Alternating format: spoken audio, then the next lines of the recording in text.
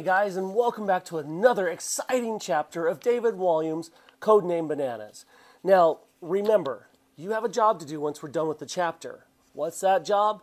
Answer those questions with complete sentences and restate the question. Now, easiest way I've found to do it is copy the question, paste it over into your answer, change the words to make it be your answer. That's talking in a complete sentence, and that is also restating the question. So, pay close attention to the story, and let's get started with chapter 32 Sucking on a Wasp. Bombs exploded all around the three as they dashed through the streets of London. Kaboom! Dust and debris were hurled into the air. The only light that illuminated their way home was the flickering red yellow light of the fires from the bombs. Homes, shops, pubs were all ablaze, with firemen and local people fighting to put them out. Thick black smoke billowed into the sky. London must have looked so strange to Gertrude, especially on a night like this. So, as much as the gorilla hugged Eric, he hugged her right back. They stayed close to the edges of the buildings, stalking in the shadows, keeping out of sight. Nearly there, hissed Sid, when they turned the corner onto his road. Stop right there, came a voice from behind them. The three froze in fear. Eric turned round. It was an air raid warden, immediately recognizable by her round tin hat, which looked like an upside down pudding bowl.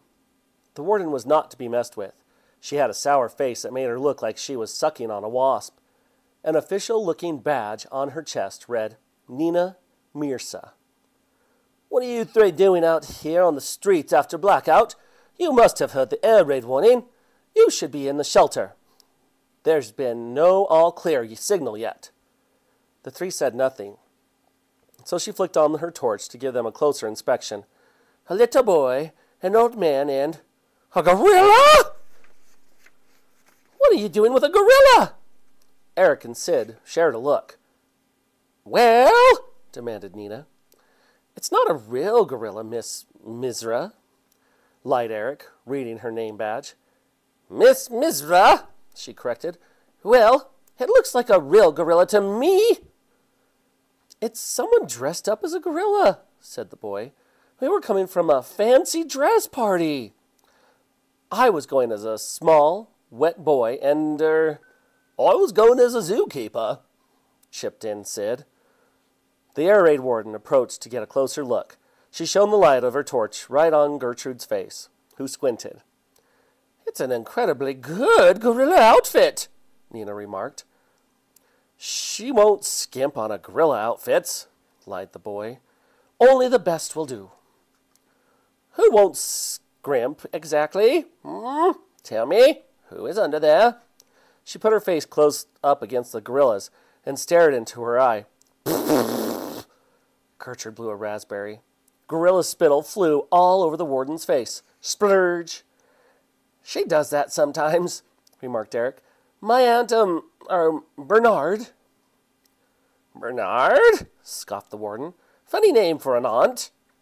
Bernard's a funny aunt. Well, if you don't mind, miss, I mean, Miss Mirza, began Sid, into panic in his voice, we should be getting home. My house is just over there, you see, he said, pointing, and there are still Nazi bombers in the sky, so you can't be too careful. With that, Sid led Gertrude and Eric across the road to his house. Stop right there, came a bark behind them. The three froze like statues in the middle of the road. Your Aunt Bernard walks exactly like a monkey, too. Technically, gorillas are not monkeys, they're apes, corrected Eric, unable to stop himself when it came to animal facts. But yes, she does like to get into character for fancy dress parties. Goodbye. The wardens marched over to the three of them. You're not going anywhere until I see who is under there. The lady put up her hand on top of Gertrude's head, who, by the look on her face, didn't like it one bit. What are you doing? asked Eric. I'm going to pull off her mask, said Nina, grabbing the tuft of hair on top of the gorilla's head. Oh, I, I, I wouldn't do that if I were you, exclaimed Sid. Why not? Aunt Bernard likes to stay in character the entire time, explained the boy. What utter nonsense, proclaimed Nina. With that, She yanked on the gorilla's hair. Yee! yelped Gertrude in pain. Stop, pleaded Eric. The mask won't come off, said the warden, pulling harder this time. Yee!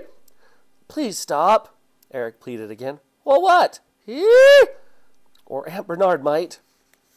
But before Eric could say whatever he was going to say next, the gorilla picked up the lady and raised her high above her head. Whoop!